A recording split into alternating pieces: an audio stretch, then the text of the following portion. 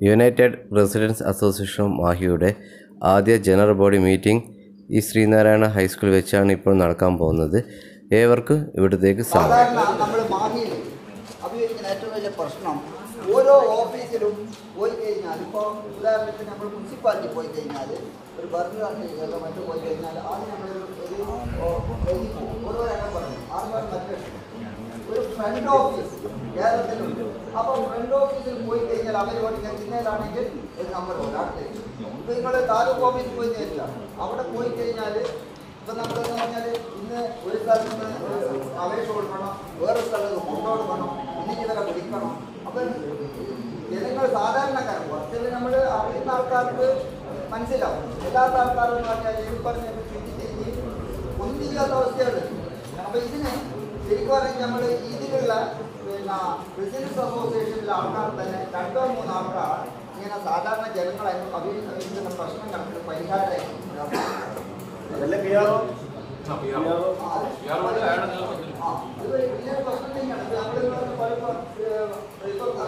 കോളേജിൽ അഡ്മിഷന്റെ പറഞ്ഞാൽ ഈ സർട്ടിഫിക്കറ്റ് വലിയ ബുദ്ധിമുട്ടുണ്ട്.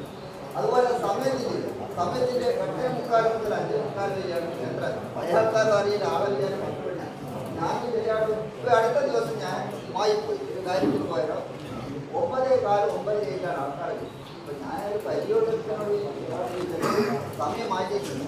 എന്താണ് ഇങ്ങനെ വിളിച്ച് പിന്നെ എല്ലാവരും വരുന്ന ഏഹ്, ഞാൻ മാത്രം ഇതെല്ലാം ചോദിക്കുന്നത് അപ്പോൾ ശരിക്കും പറയുന്നത് എട്ടേ മുക്കാൽ ടു അഞ്ചേ മുക്കാൽ അത് നമ്മൾ ശരിക്കും റെസിഡൻസ് അസോസിയേഷൻ ഒരു സമരമായിട്ട് തന്നെ എന്ത് ചെയ്യാന്ന് പറഞ്ഞാൽ ഓഫീസുകളിൽ കാര്യമായിട്ട് അവർ അത് ഉറപ്പുവരുത്തണം.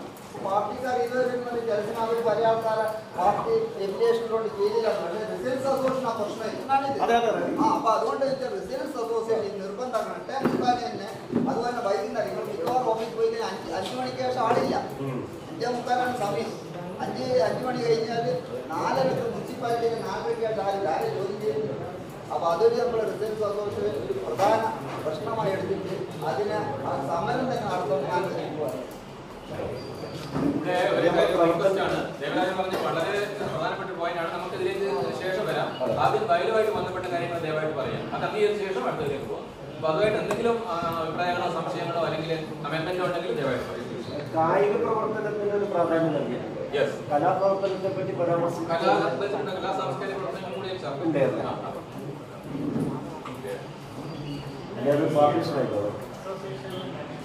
വരുന്നത്. ഇതാണ് ഇതിന്റെ ബേസിക് സ്ട്രക്ചർ ഇതിൽ നിന്നാണ് ഭാരവാഹികളുടെ എക്സിക്യൂട്ടീവ് കമ്മിറ്റിയെല്ലാം വരുന്നത്.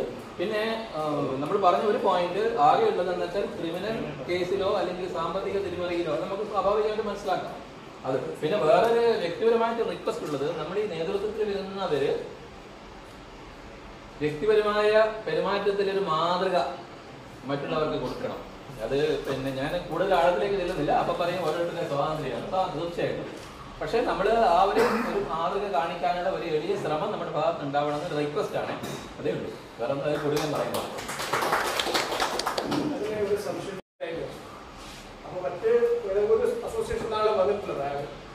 പിറ്റേ ദിവസം മുതൽ അയാൾ അവിടുത്തെ അസോസിയേഷനിൽ വിമതനാണെന്ന് വിചാരിച്ചത് സങ്കല്പിക്കുകയാണ് വിമതനാണ്.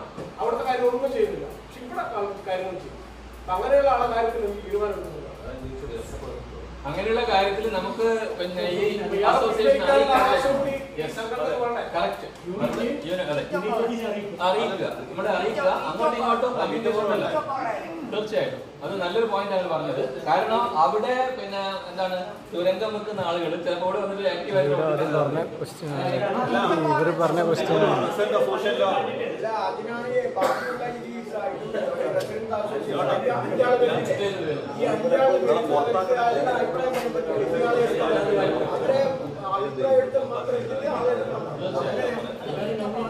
പിന്നെ വേറൊരു കാര്യം അതിൽ ഈ unity of Mahe unity of മാഹിയാണ് unity of മാഹിയുടെ ഭാരവാഹികൾ കോർഡിനേറ്ററും ഇടക്കിടക്ക് ഈ പതിനാറ് അസോസിയേഷന്റെ ഭാരവാഹികളുമായിട്ട് ബന്ധപ്പെടുന്നു. തീർച്ചയായിട്ടും അവരുടെ അവിടെ നടക്കുന്ന കാര്യങ്ങൾ അങ്ങോട്ടും ഇങ്ങോട്ടും അറിയും. അങ്ങനെ അറിയുമ്പോൾ നമ്മുടെ മീറ്റിംഗിൽ ചർച്ചയ്ക്ക് വരും. അപ്പൊ അവരോട് നമുക്ക് അങ്ങോട്ട് പറയാം അവർക്ക് ഇങ്ങോട്ട് പറയാം. ഇത് നമ്മൾ പരസ്പരം ശ്രദ്ധിച്ചില്ലെങ്കിൽ നമ്മുടെ പ്രവർത്തനത്തിന് ദോഷമായിട്ട് ഭാവിക്കും എല്ലാ പ്രസിഡന്റിന്റെയും സെക്രട്ടറിന്റെയും കോർഡിനേറ്ററുടെയും നമ്പർ ഭാരവാഹികൾ എടുത്തുണ്ടാവും അവർ ഇടയ്ക്ക് ഒന്ന് കോൺടാക്ട് ചെയ്താൽ മതി. ഇപ്പൊ ഞാൻ ഇൻ കേസ് ഒരു റിസൾട്ട് അസോസിയേഷൻ ഇതിനകത്ത് പുറത്താക്കണം അതെ. എന്ത് ചെയ്യും? അത് ആ അസോസിയേഷൻ പുറത്താക്കണം.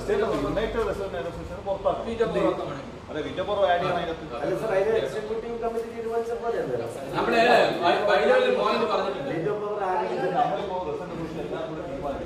ചില എതിർപ്പുണ്ടാവും നമ്മൾ അല്ലെങ്കിൽ നമ്മൾ ഉദ്ദേശിക്കുന്ന കാര്യം അവർ താല്പര്യപ്പെടുന്നില്ലേ?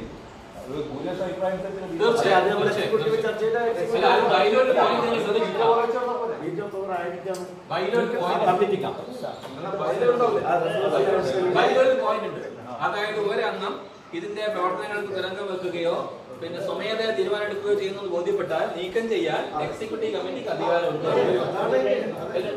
ഞാൻ പറഞ്ഞ ഈ വ്യക്തി മാത്രമല്ല അസോസിയേഷൻ തന്നെ ഒരു സ്വഭാവം കാണിച്ചിട്ടുണ്ടോ? അങ്ങനെ അത് തിരുത്താനുള്ള ശ്രമം ഏതെങ്കിലും ഒരു അതുകൊണ്ടുള്ളത് ഞങ്ങളുടെ ഉദ്ദേശ ലക്ഷ്യങ്ങളിൽ പരിസ്ഥിതി സംരക്ഷണത്തിന്റെ ഉൾപ്പെടുത്തി. പരിസ്ഥിതി തീർച്ചയായും അല്ല ഇതാ പറഞ്ഞ ഓരോരുത്തരുടെ അഭിപ്രായങ്ങൾ പിന്നെ പറഞ്ഞാൽ അതിൽ റെയിൻ വാട്ടർ ഹാർവെസ്റ്റിംഗ് എല്ലാം കൂടുതൽ ഇമ്പോർട്ടൻസ് ആ, rain water harvesting. അത് ഒരു ആദ്യ point. മേഖലയുടെ ഒരു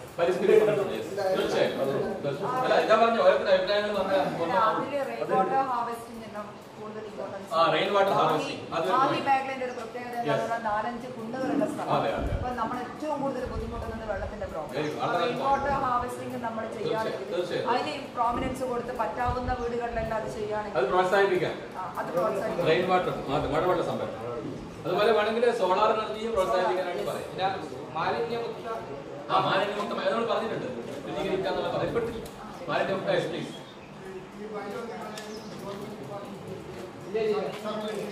ഓ ഇല്ല ഇല്ല ഇല്ല വൈദ്യുതി നമ്മൾ അംഗീകരിച്ചിട്ടില്ല അംഗീകരിച്ചിട്ട് വന്നില്ല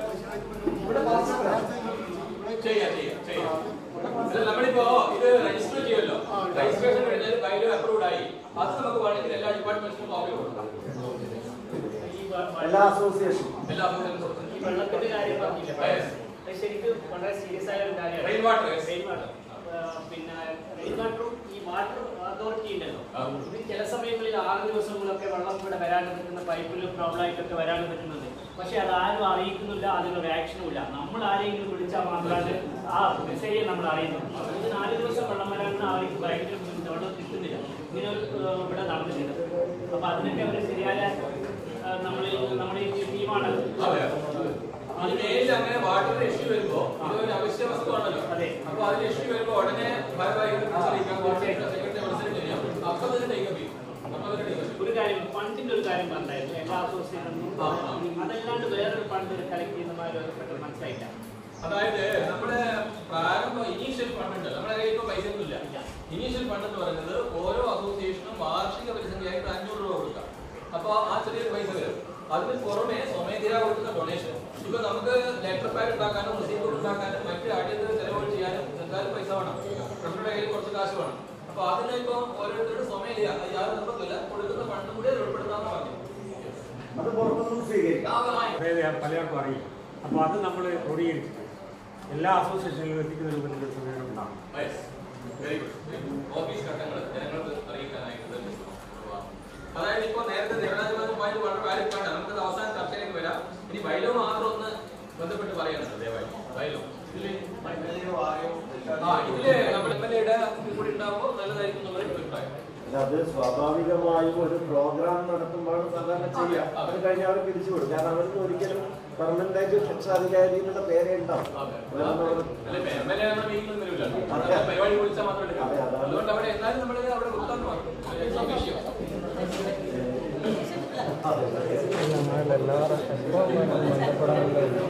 പക്ഷേ രക്ഷാധികാരിയായ എം എൽ എ ഉണ്ടാവില്ല പക്ഷേ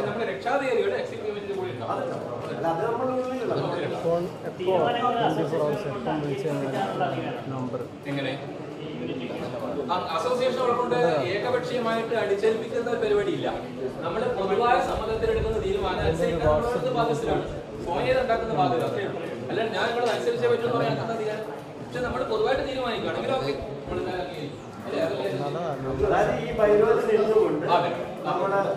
അല്ലേ? പിന്നെ പിന്നെ ഈ ബൈലോയിൽ എന്തെങ്കിലും ആഡ് ചെയ്യണോ നീക്കം ചെയ്യണോ ചെയ്യാൻ നമുക്ക് ജനപടി വിളിക്കാം അമെന്റ് ചെയ്യാം. നമുക്ക് അതിന് അധികാരമുണ്ടല്ലോ ബൈലോ പിന്നെ നമ്മുടെ കൂട്ടത്തിൽ തന്നെ രണ്ടുപേരെ ഓഡിറ്റ് ആക്കാനുള്ള നിർദ്ദേശമുണ്ട്. അത് കാര്യമായിട്ടല്ലാത്ത രണ്ടുപേര്. അല്ല അത് ഇതിലുണ്ട് കേട്ടോ. അത് അശോകയുടെ ആവശ്യം ലാസ്റ്റ് വിട്ടുപോയത് അത് ആവശ്യമില്ല അല്ല അത് രണ്ട് നമ്മുടെ ആൾക്കാർ പോലെ. അല്ല നമ്മുടെ ആൾക്കാർ ചെയ്യും നമ്മുടെ ആൾക്കാർ ചെയ്യുന്നത് പക്ഷപാതപരമായിരിക്കും. അതുപോലെ. നമ്മുടെ ആൾക്കാർ ചെയ്യാം സാമ്പത്തികമായിട്ട് പിന്നെ സഹായം ഇപ്പോ ഇപ്പോ സെൻട്രൽ സെൻട്രൽ ഗവൺമെന്റ് എടുത്ത് ഫണ്ടില്ലെങ്കിൽ സ്റ്റേറ്റ് നല്ല കാര്യം നല്ല കാര്യം നമുക്ക് ജനറേറ്റ് പ്ലീസ് നമുക്ക് ഇത് കംപ്ലീറ്റ് ചെയ്യാം ബൈലോ പ്ലീസ് നമുക്ക് ഇത് പെട്ടെന്ന് കംപ്ലീറ്റ് ചെയ്യാം ബൈലോയിൽ വേറെ എന്തെങ്കിലും ഉണ്ടോ ആ ആ രാഷ്ട്രീയത്തിലും ജാതി മത ചിന്തകൾക്കും അതീതമായി വെച്ച് കാണിക്കുന്നത് അപ്പോൾ വെച്ചാൽ ഒരു രാഷ്ട്രീയ കക്ഷി അല്ലെങ്കിൽ ഏത് സംഘടനയ്ക്കൊരു ലീഡിങ്ങിൽ നിൽക്കുന്ന ഒരു പേഴ്സൺ ഈ സംഘടനയുടെ ലീഡിങ്ങിലേക്ക് വരാൻ ബില്ലിംഗ് ആണോ?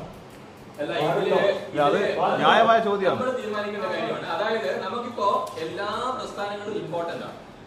എല്ലാ പ്രസ്ഥാനങ്ങളും ഇമ്പോർട്ടന്റ് ആണ്. എല്ലാവരുമായിട്ടും നമ്മൾ നല്ല സൗഹൃദത്തിലായിരിക്കും. ഒരേ ദൂരത്തിലായിരിക്കും പക്ഷെ ആര് വരണമെന്ന് നമ്മളാ ഉദ്ദേശിച്ചത് ഇതിലൊരു രാഷ്ട്രീയമോ ഇതിന് ഈ ബോഡിക്ക് രാഷ്ട്രീയമോ ഒരു പ്രത്യേക നിറമില്ല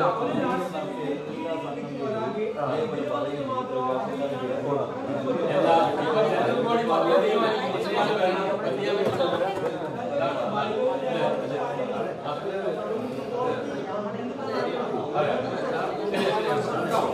വളരെ വളരെ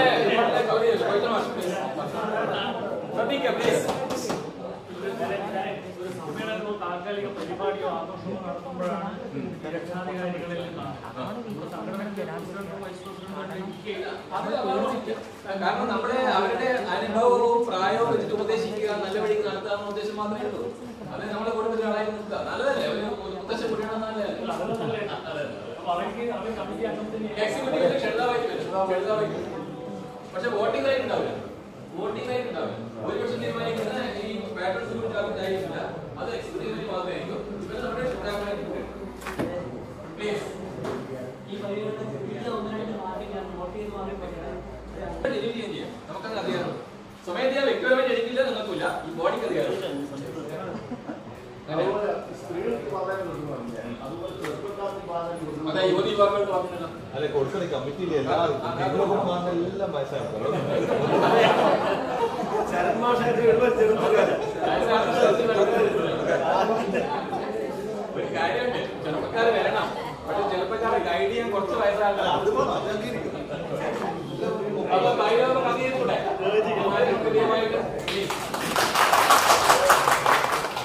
ഇനി പബ്ലിക് ഒപ്പീനിയനിലേക്ക് വരാം നമുക്ക് ഒരു ഏഹ്, കാര്യമായ ഒരു കാര്യം ദേവരാജൻ പറഞ്ഞു കഴിഞ്ഞു അതുമായിട്ട് ബന്ധപ്പെട്ട് മറ്റു കാര്യങ്ങൾ സംസാരിക്കേണ്ടവർ ദയവായിട്ട് ചുരുങ്ങിയ സമയത്തിനോട് വന്ന് പറയാം please. ഒരു സംശയം ചോദിച്ചു ആ, yes. ഇപ്പം നമ്മൾ ഈ നമ്മളിപ്പോൾ നമ്മുടെ അസോസിയേഷൻ ഞാൻ ഇപ്പോൾ ഒരു ട്രഷറായിട്ട് വർക്ക് ചെയ്യും ഞാൻ അതിൽ നിന്ന് മാറിക്കഴിഞ്ഞാൽ ഇപ്പൊ ഇത് ഇവിടെ ഇപ്പൊ രണ്ട് വർഷത്തെ കാലാവധി അപ്പൊ ഞാൻ കണ്ടിന്യൂ ചെയ്യാൻ പറ്റുമോ ഇല്ലയോ.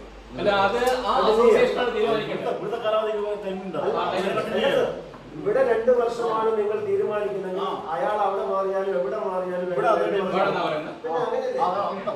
പക്ഷെ എന്ത് ചെയ്യാം ഈ നേരത്തെ പറഞ്ഞതുപോലെ. അതാണ് ഞാൻ പറഞ്ഞത്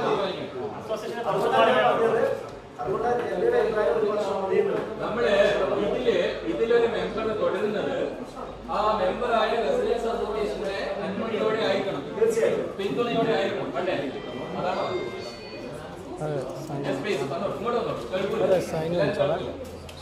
അവിടെ അല്ല അവർ അവർ പറഞ്ഞതാ ചോദിക്കുന്നത്. നമ്മളൊക്കെ കട്ട് ഇവിടെ ഒന്ന് പറഞ്ഞത് നമ്മുടെ ഗവൺമെന്റ് ഓഫീസിലെ സേവനങ്ങളെ കുറിച്ചാണ് ദേവരാജൻ പറഞ്ഞത്. ഇത് വളരെ കാതലായ പോയിന്റാണ് അത് ചെയ്യേണ്ട കാര്യം തന്നെയാണ്. മാറ്റേണ്ട നമുക്ക് മാറ്റിയെടുക്കാം അല്ല ഒറ്റയടിക്കൊന്നും ചെയ്യാൻ പറ്റില്ല. നമ്മുടെ ഒരു സംഘടന ഉണ്ടാക്കിയപ്പോ കൂടിയത്തലം മുതൽ പമ്പക്കിൽ വരെ ഒരു യാത്ര നടത്തിയിട്ട് ഈ ഉദ്യോഗസ്ഥരെ കുറിച്ച് സംസാരിച്ചിരുന്നു. അപ്പോൾ വന്നൊരു പരാതി എന്താണെന്ന് വെച്ചാൽ ഞങ്ങളെ അടച്ച ആക്ഷേപിച്ചു കളഞ്ഞു അതാണ് അതാണ് അതൊരു പ്രശ്നമുണ്ട് അപ്പൊ അത് നീങ്ങുമ്പോ വളരെ കെയർഫുൾ ആയിട്ട് നീങ്ങണം നമ്മുടെ നമ്മുടേതായ രീതിയിൽ കെയർഫുൾ ആയിട്ട് നീങ്ങണം അത് നമ്മൾ ആലോചന ചെയ്യാം ഇരുതല മൂർച്ചയുള്ള. അതെ അത് പ്ലീസ്.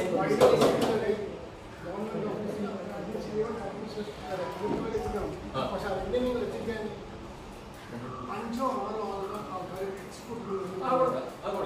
എന്നിട്ട് വേണം ഇത് സാധനം അത് അനുഭവമാണ് അതെ. തീർച്ചയായും തീർച്ചയായും